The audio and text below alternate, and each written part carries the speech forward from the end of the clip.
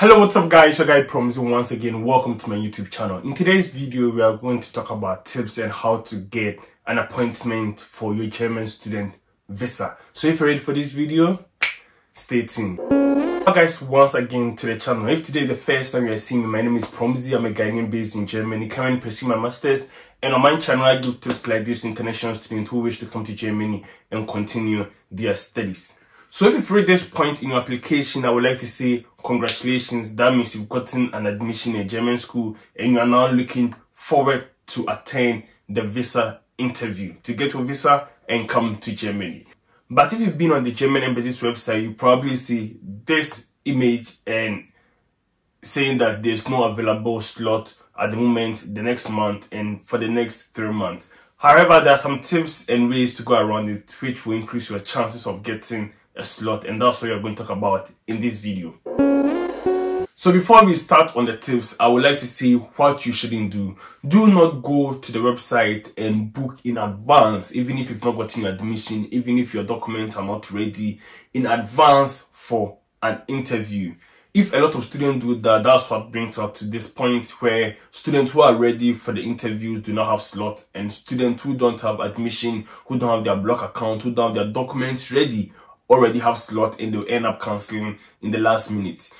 This wouldn't go anywhere to help the student body. It will just stress the people who are ready and if the time comes for you to be ready and people are not ready have booked the slot, then it's going to be a cycle that never ends. Mind you, if you keep on booking, cancelling, booking, cancelling, the embassy is going to block your access to the website because they think you are just messing up with them. So have that one also in mind. One other thing I should make clear is the only way to get a legal booking at the embassy is through the embassy's website. You can't call the embassy through the phone to make an appointment and this is the only way to go about it. The first slot is being a category A student. If you're not done with your undergrad, then I advise you try your possible best to get first class, not only to get an admission or a slot at the German embassy website.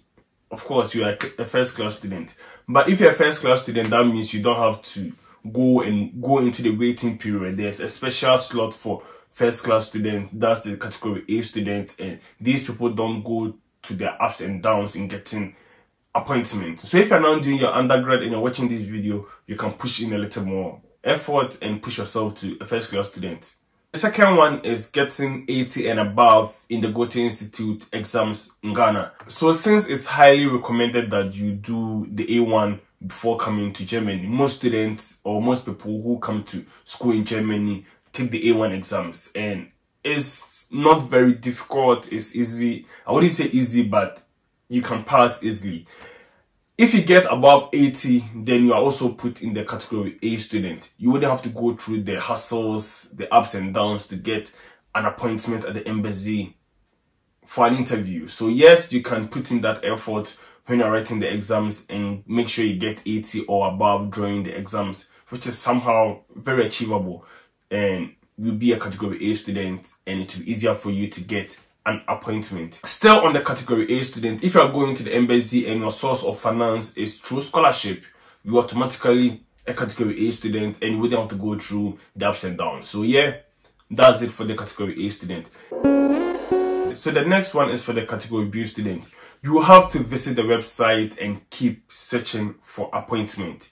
Don't buy into the notion that there are no appointment and just be there, no appointment and never visit the website. Yes, most of the time there are no appointment, but if you keep on visiting the website, you are most likely to get an appointment. So one thing you should know is the embassy's website refreshes itself every day at 12 o'clock a.m. Is it p.m. or a.m.? At dawn. So students or people who will not be available for one or two reasons, who have cancelled the appointment during the previous day, these slots will be available at 12 o'clock when the website is refreshed. The refreshing of the website is done 12, 12 at dawn German time. So you have to know whether you are leading Germany, whether you are behind Germany, and how the gap between your home country and Germany. And you should be searching for your appointment at these times. In Ghana, during the summertime, Germany is ahead of us two hours, and during winter, Germany is ahead of us one hour. So depending on the time or the season that you are making your appointment, have this time gap in your mind. If it's 12 o'clock in Germany, it's 10 o'clock PM in Ghana. So you work, you use that time gap and go on the website and most likely you are going to find a slot when the website is being refreshed. It's not a hundred percent guaranteed that you're going to find a slot when you visit the embassy's website at 10 p.m. or 11 p.m. Ghana time, GMT, but there's a high chance that you're going to get an appointment during this period. I do understand finding an appointment at the embassy is very stressful and can be very challenging, but that's the process everyone has to go through.